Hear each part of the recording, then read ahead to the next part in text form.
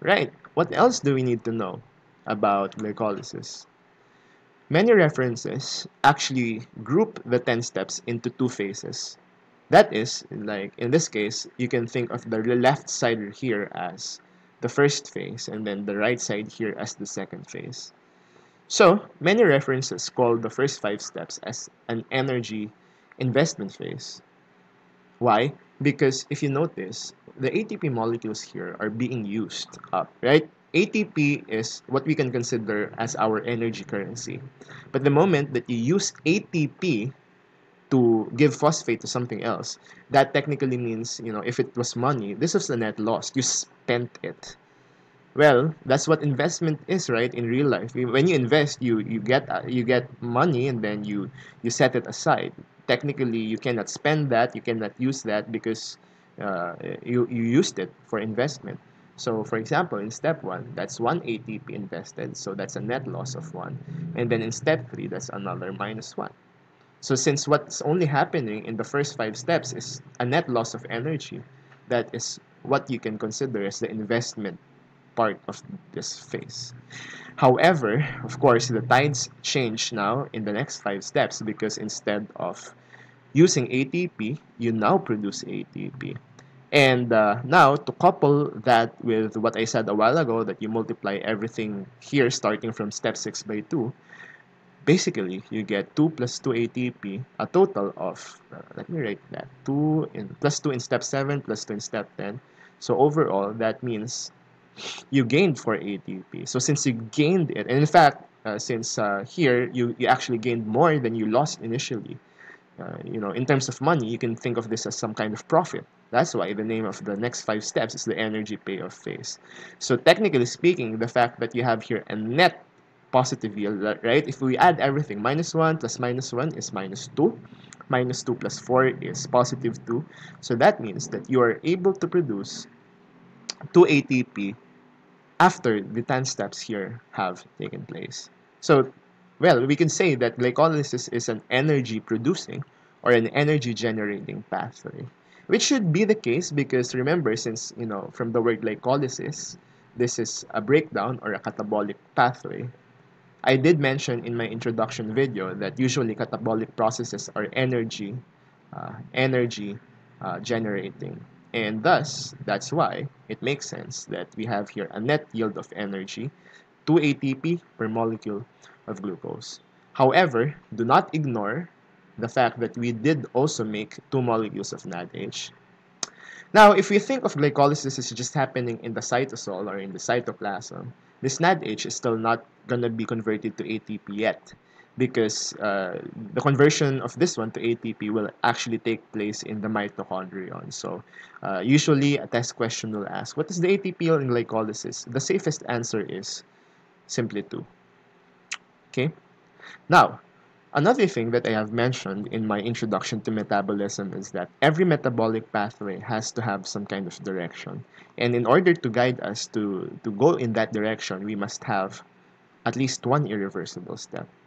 Actually, you will notice that in glycolysis, we have not just one, not just two, but three irreversible steps, which are reflected by the single arrows. So this is one of them, this is another one, and then the other one are the other ones are double arrows so those are reversible. Oh we have another one here. So you know if you just use the number of the step it's steps 1 3 and 10 let me write that here which are the irreversible steps. And uh, we can think of them as uh, the steps which guide us uh, to go to the direction of pyruvate because we think of this as our goal in glycolysis also, it will be wise to be familiar with the enzymes that facilitate that. So, for step 1, we have hexokinase. I would just abbreviate it as HK. For 3, we have PFK or phosphofructokinase. And then for 10, we have pyruvate kinase or PK. However, it is actually well known that uh, among these three, it is PFK, which is the most well regulated by multiple ways in our body, as I will describe uh, shortly after this one. And thus, since um, among the three irreversible steps, step three is the one which our body uh, actually uh, looks after the most, we can think of uh, PFK as the rate limiting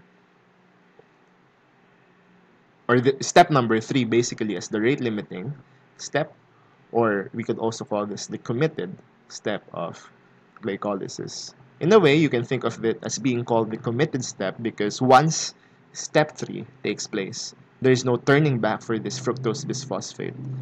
Okay, except for some rare uh, possibilities, usually this has nowhere to go but become two molecules of pyruvate. So we committed to becoming pyruvate, thus committed step. So now, let's answer uh, that question. What are the things that regulate PFK? First, in the uh, first, uh, if we think of the goal of glycolysis other than making pyruvate, we have to uh, uh, go a little to the future. So I'll, this is kind of a spoiler, but for those who have an idea, this pyruvate has a lot of uh, steps to go through after in cell respiration, and the endpoint of that is producing molecules of ATP, or in other words, energy. And remember, our body will always try to strike balance such that if it is already satisfied with what it has, it will stop making that thing, or if it is lacking something that it needs, it will force the body to make those. So, for example, we can think of glycolysis as one of those pathways that allows our body to make energy. But what if, at a certain moment, our body is already is already uh, supplied with enough ATP?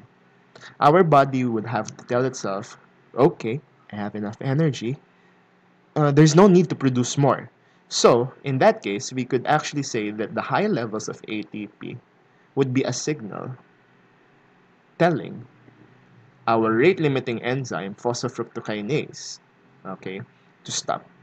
And in physiology, if you have a background on physiology, we call such processes negative feedback. This is actually the same uh, uh, same uh, logic behind how many of our hormones operate. If there's already enough hormones, then there's no reason for us to produce more of that or release more of that. And uh, the same logic is applied here in this pathway. Also, we have to uh, uh, remember what I said a while ago, that glycolysis is not just something relevant for the production of ATP, but also relevant to control of our blood sugar levels. Because if you uh, come to think of it, since glucose is the most common substrate or starting material for glycolysis, you may remember that it is actually glucose which is measured by our so-called blood sugar level um, measurements, right? So we know that blood glucose is a big deal because uh, uh, too much of it can be hyper. That's called hyperglycemia. Could be a manifestation of diabetes. Hypoglycemia would also be dangerous because uh, it could lead to intense energy deficit. Could could could could uh, could could give a patient really uh, a hard time. So, as we know, our body has to have a good method or a good uh, hold of its blood sugar level.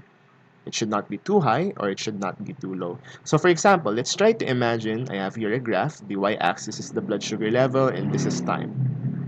So imagine that this is normal blood sugar level, okay? Not too high, not too low.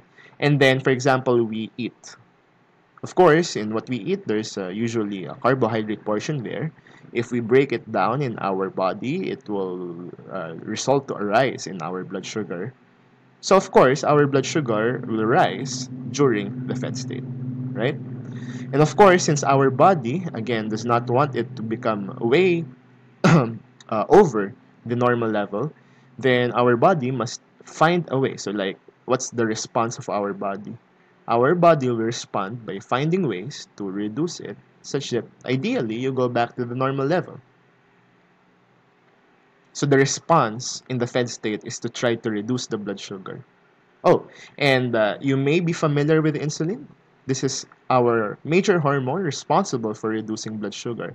So in other words, I'm trying to say here that usually insulin increases during the fed state because it is natural for our body to desire a reduction in blood sugar when we have just eaten to maintain balance.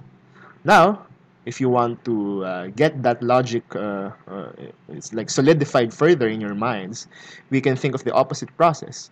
Imagine you have fasted okay?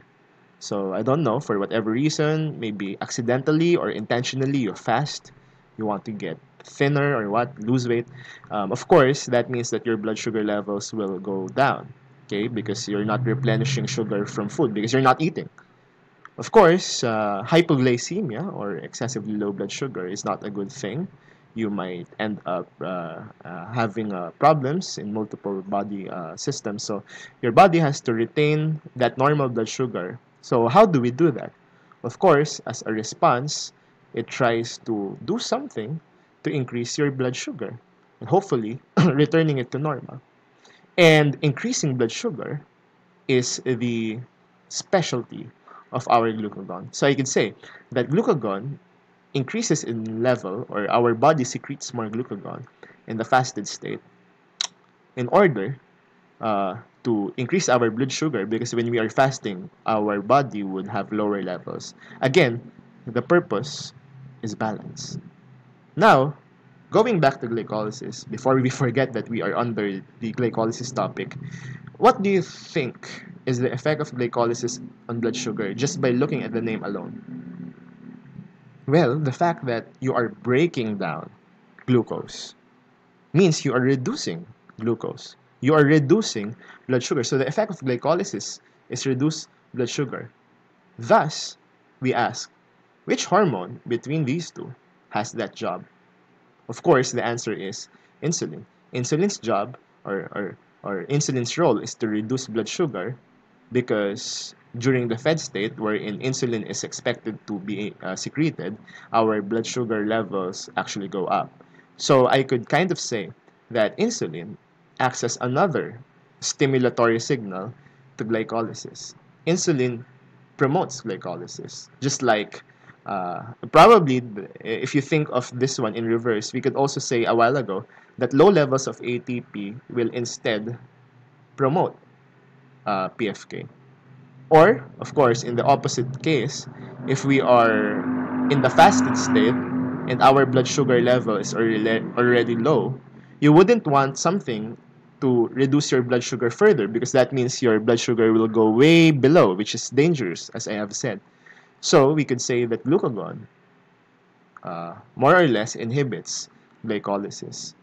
Just like uh, the logic a while ago, excessive levels of ATP inhibit glycolysis. So as you can see, glycolysis is not that easy to discuss, especially if we consider that there are multiple ways for us to regulate that.